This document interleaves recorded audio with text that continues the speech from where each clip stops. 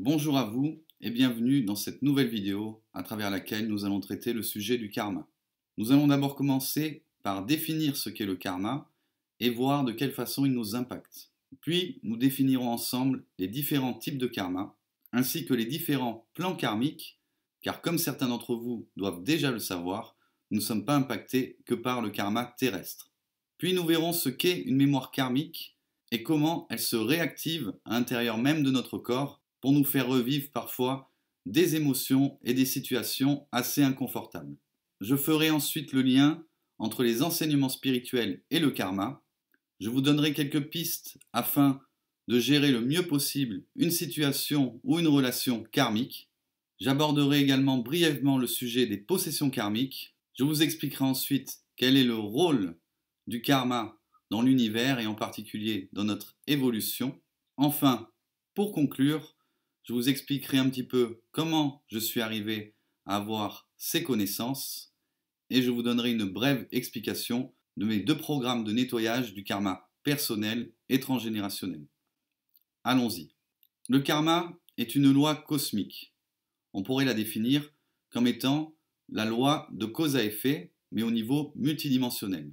Toutes les pensées, paroles ou actes que nous avons émis depuis notre première incarnation, quel que soit le plan d'incarnation, et qui ont porté atteinte aux autres, ont créé des dettes karmiques. Et ces dettes karmiques sont comme des verrous qui viennent nous bloquer dans différents domaines de notre vie, par exemple les relations amoureuses, amicales, professionnelles, familiales, mais également dans des domaines bien particuliers, comme les enseignements spirituels. Certains karmas peuvent également bloquer nos chakras, les personnes qui ont par exemple des problèmes d'ancrage ont, dans la grande majorité des cas, manifesté des choses dans la matière dans leur vie antérieure qui ont porté atteinte aux autres.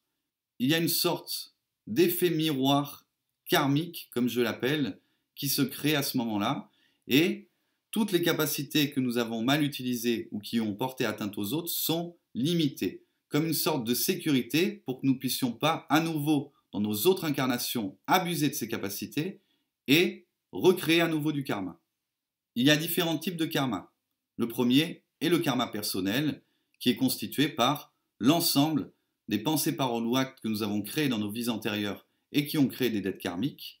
Mais il y a également le karma transgénérationnel, qui est constitué par l'ensemble des pensées, paroles et actes que nos lignées masculines et féminines ont générées depuis leur première incarnation et qui sont notre héritage karmique transgénérationnel. Il est donc également de notre responsabilité de nous libérer de la majorité de notre karma transgénérationnel, sinon il va continuer à se transmettre à nos descendants, et chaque génération rajoute une couche, si je puis dire, et ces karmas transgénérationnels finissent vraiment par être très impactants et bloquants. Enfin, il y a le karma collectif. Les karmas collectifs n'ont jamais été créés par un seul individu c'est toujours un groupe de personnes qui les a créés, la plupart du temps par l'abus et la mauvaise utilisation de rituels, de magie ou d'enseignements spirituels, et ces karmas impactent l'ensemble de l'humanité, comme par exemple le déséquilibre des polarités masculines et féminines qui impactent l'ensemble de l'humanité, mais qui nous impactent également au niveau individuel. Nous ne sommes pas impactés que par le karma que nous avons créé sur le plan terrestre. Nous sommes impactés par tous les karmas que nous avons générés au fur et à mesure de nos différentes incarnations dans des plans parfois qui n'avaient rien à voir avec le plan terrestre. Je pense par exemple au plan galactique, voire les plans intergalactiques ou cosmiques par exemple, où le fonctionnement pouvait être tout à fait différent que sur Terre. Dans certains plans, nous n'avions pas besoin d'un corps physique pour nous incarner.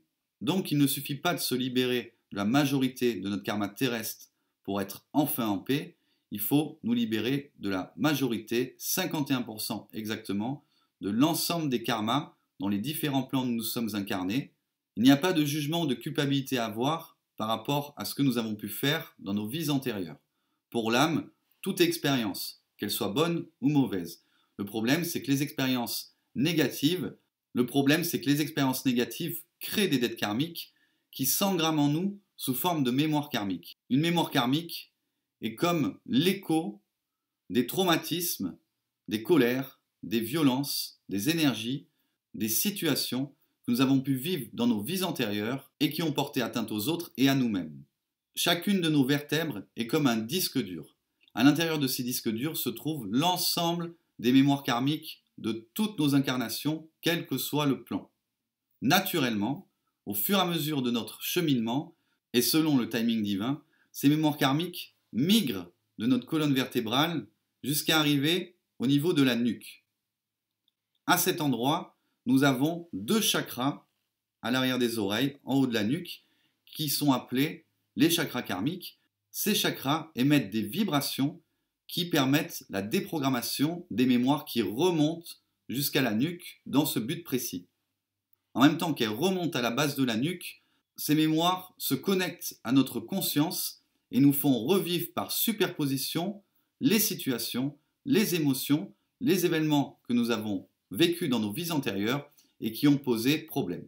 La plupart des personnes qui vivent ça ne s'en rendent même pas compte, donc elles vont se retrouver tout à coup dans des états émotionnels et mentaux complètement disproportionnés par rapport à ce qu'elles vivent dans cette vie-ci. Cela va bien évidemment déstabiliser leur paix intérieure jusqu'à que ces mémoires aient été déprogrammées. Le problème, c'est que de nos jours, chez 99,99 des personnes, les chakras karmiques qui sont censés déprogrammer ces mémoires au fur et à mesure qu'elles se présentent ne fonctionnent plus. Du coup, ces mémoires vont s'accumuler au niveau de la nuque. Cela va créer des torticolis par exemple, des blocages, des douleurs. Vous allez avoir la nuque raide. Si vous vivez ce genre de choses sans qu'il y ait une raison physique, si vous n'avez pas eu d'accident, vous n'avez pas fait de faux mouvements, vous n'avez pas eu de coup du lapin, il y a 90% de chances que cela soit d'origine karmique. Dans ces cas-là, je vous invite véritablement à faire un soin de nettoyage karmique qui va venir spécifiquement déprogrammer ces mémoires au niveau de la nuque et qui va vous permettre de vous libérer de ces blocages, de ces densités. Dans certains cas, ces mémoires peuvent réactiver une ancienne personnalité issue d'une de nos vies antérieures. Celle-ci va à ce moment-là prendre l'ascendant sur nous. Elle va nous hacker et nous faire ressentir ses blessures, ses colères, et dans la majorité des cas, nous n'allons pas faire la différence entre ce que elle ressent et nous fait vivre et ce que nous ressentons dans notre vie de tous les jours. C'est ce que j'appelle une possession karmique. Peu de gens en parlent. Cela peut se présenter par exemple sous la forme d'une tristesse profonde sans qu'il y ait aucune raison logique dans cette vie-ci. Cela doit vous alerter. Dans ce cas-là, il est important d'avoir le recul nécessaire pour faire une dissociation entre ce que vous ressentez vraiment et ce que vous fait ressentir cette ancienne personnalité. Un peu comme un passeur d'âme, votre but à ce moment-là sera de faire la paix et de guérir cette ancienne personnalité à vous et de la faire monter dans les plans supérieurs afin qu'elle puisse enfin trouver la paix et qu'elle ne parasite plus votre existence présente. Lorsque nous avons abusé d'une capacité, d'une énergie ou d'un enseignement et que nous avons porté atteinte aux autres à travers cette énergie ou cet enseignement, nous n'avons en général plus le droit de l'utiliser dans nos prochaines réincarnations. Ce qui explique que certaines personnes font des formations énergétiques ou autres et ne les utiliseront jamais car en définitive, elles n'ont plus l'autorisation des plans supérieurs pour le faire et de façon inconsciente, elles vont avoir tendance à oublier ou ne pas avoir la motivation pour remettre le nez dans le manuel par exemple et pratiquer cet enseignement. La seule chose qui va permettre à la personne d'être à nouveau légitime et d'avoir à nouveau le droit d'utiliser ses énergies ou ses enseignements spirituels par exemple, ça va être de prendre sa responsabilité karmique et de faire un travail pour rectifier les erreurs qu'elle a pu faire avec ses enseignements. À ce moment-là, elle aura à nouveau le droit de pratiquer. C'est pour cette raison qu'avant de transmettre un enseignement et ou une initiation énergétique, je procède toujours à la rectification karmique des antécédents de la personne vis-à-vis de cet enseignement et de ses énergies, afin qu'elle reparte vraiment sur des bases solides et sereines. Nous allons à présent voir, selon moi, la meilleure attitude à adopter lorsque nous sommes en présence d'une situation ou d'une relation karmique. Lorsque nous vivons une situation karmique, nous allons nous sentir agressés et nous serions tentés de nous mettre dans la posture de victime. Cependant, vu que c'est un conflit karmique, il peut remonter à bien des vies, et qui ne vous dit pas qu'à l'origine, ce n'était pas vous, l'agresseur, qui avez créé ce lien karmique qui ne fait à présent que se répéter comme une sorte d'écho. Donc, il ne faut pas se placer dans la posture de victime, il ne faut pas non plus répondre à l'agression du tac au tac et vouloir à tout prix rendre les coups. Car dans ce cas-là, on ne va faire qu'alimenter encore cette boucle karmique qui n'aura à ce moment-là jamais de fin tant que l'une des deux personnes qui sont en conflit n'aura pas décidé de mettre fin à ce conflit. Cela est valable évidemment tant qu'il n'y a pas d'atteinte physique. Mais si une personne est méchante avec vous, si elle s'acharne sur vous, à travers les réseaux sociaux par exemple, ou quelconque autre moyen, choisissez de tracer votre route, de rester droit, ne vous laissez pas déstabiliser, ne prenez pas les choses personnellement, essayez de garder le recul, que peut-être que si cette personne vous agresse, en fait, c'est une façon de payer une dette karmique que vous avez contractée vis-à-vis d'elle, probablement dans une de vos vies antérieures. Si malgré votre envie de vous venger, vous restez droit sur ce chemin d'évolution et de paix, je vous garantis que tôt ou tard, le lien karmique sautera, la mémoire karmique se déprogrammera et vous aurez réussi à sortir de cette boucle karmique qui se répétait par réincarnation interposée peut-être depuis des lustres. Pour finir, j'aimerais vous rappeler que le karma n'est pas une punition. Le karma n'est pas fait pour nous gâcher la vie, même s'il la rend bien souvent assez difficile. Le karma a avant tout un but évolutif et un but d'unification des êtres au niveau de l'âme. Il y a quelques années, j'ai mis en place un soin en accès libre sur cette chaîne, c'est le soin de réunification multidimensionnelle. Le principe de ce soin est de libérer les liens karmiques entre deux êtres, qui sont incarnés ou, par exemple, une personne incarnée avec des entités, voire même des entités entre elles. Le but de ce soin est de progressivement amener les deux personnes dans les meilleures conditions afin qu'elles puissent à nouveau être en paix. Et énergétiquement, cela passe par le fait de recréer le lien au niveau de l'âme. Ce qu'il faut savoir, c'est qu'à la base, nous sommes tous frères et sœurs issus du même créateur originel. Nous sommes tous ses enfants. Et c'est au fur et à mesure de nos incarnations, des différents conflits que nous avons eus entre nous, que ces liens d'âme qui nous reliaient tous ont été coupés. Et pour que nous ne soyons malgré tout pas séparés, des liens karmiques se sont créés. En sachant que tôt ou tard, ces liens karmiques viendraient nous déranger et qu'en arpentant le chemin, en enquêtant sur notre propre karma, nous arrivions à faire la paix. Ce soin a donc pour but d'amener les deux êtres qui sont en conflit depuis peut-être de nombreuses réincarnations à se reconnecter au niveau de l'âme. Et une fois que ce lien au niveau de l'âme est reconnecté, instantanément, tous les liens karmiques sautent.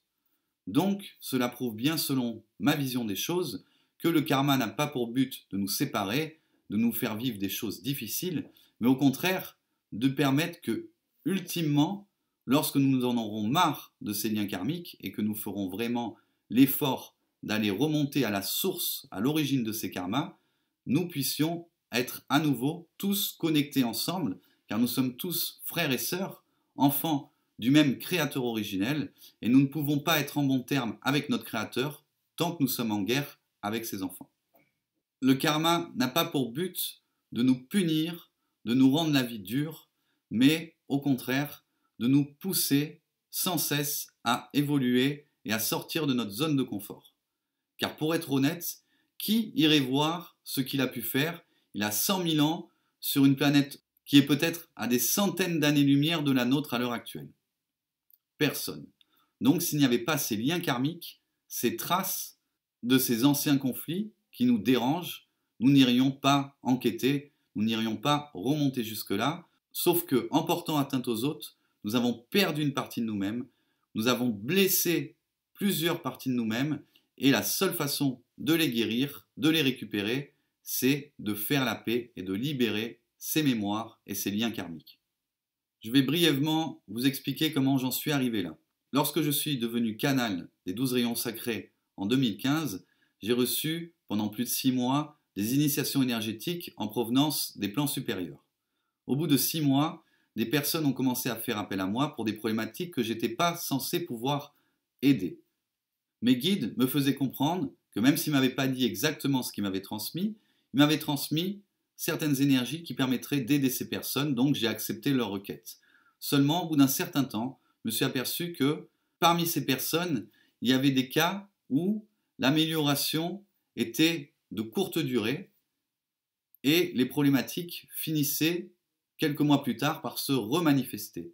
J'ai à ce moment-là essayé de comprendre ce qui se passait, et ce que mes guides m'ont expliqué, c'est que j'agissais sur la conséquence et pas la cause, et que bien souvent la cause de nos problématiques est d'origine karmique, et que ces mémoires karmiques sont comme des verrous qui empêchent la guérison et la libération de certaines de nos problématiques, qui vont en fait réinformer nos différents corps, émotionnels, mentaux, physiques également, nos cellules aussi, et ces réinformations vont créer la disharmonie. Et même si nous libérons ces disharmonies au niveau par exemple du corps physique, du corps mental ou du corps émotionnel, si nous n'avons pas déprogrammé la mémoire karmique, la mémoire karmique est comme un programme, elle va continuer à réinformer sans cesse la personne avec les mêmes problématiques, elle va recréer de façon récurrente les mêmes problématiques chez la personne.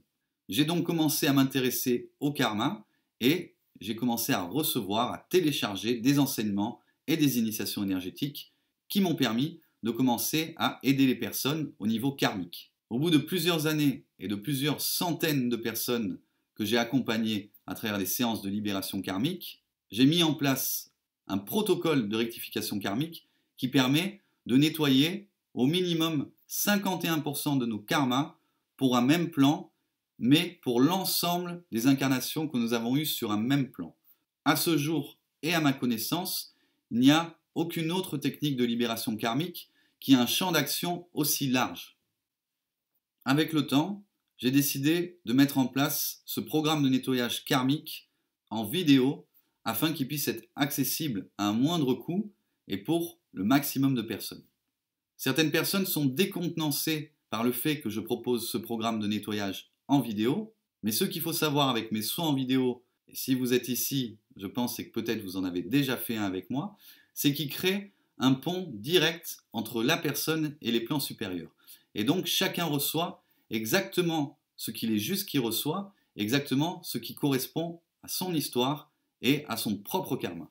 Ainsi donc, si deux personnes réalisent le même soin, elles recevront potentiellement des choses totalement différentes l'une de l'autre, car elles n'ont pas le même historique karmique, elles n'ont pas les mêmes antécédents. À ce jour, j'ai mis en place deux programmes de nettoyage karmique complets qui vous permettent de nettoyer au minimum 51%, mais ça peut aller bien plus loin, jusqu'à même 80% de votre karma, plan par plan, c'est-à-dire pour le plan terrestre, le plan galactique, le plan divin, le plan intergalactique, le plan cosmique et le plan intraterrestre. À ma connaissance, à ce jour, il nous n'est pas forcément demandé d'aller au-delà de ces six plans, sauf dans de très rares exceptions. Je suis également en train de mettre en place un deuxième programme qui, lui, s'occupera de vous libérer du karma transgénérationnel, selon toujours le même principe.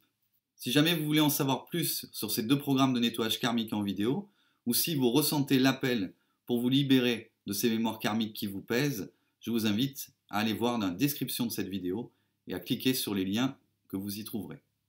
Je vous remercie pour votre attention, j'espère que cette vidéo aura été enrichissante et vous aura apporté de nouvelles connaissances et une meilleure compréhension des mécanismes qui sous-tendent le karma. Si vous avez des questions, n'hésitez pas à les mettre en commentaire. Si vous gérez des réseaux sociaux, des blogs, des sites, etc., n'hésitez pas à partager cette vidéo car les informations qu'elle contient pourront permettre d'aiguiller et d'aider beaucoup de personnes à mieux comprendre ce qu'elles vivent par rapport au karma. Je vous souhaite une belle journée ou une belle soirée et je vous dis à bientôt. C'était Jean-Frédéric, pour la gloire de Dieu. Gratitude infinie.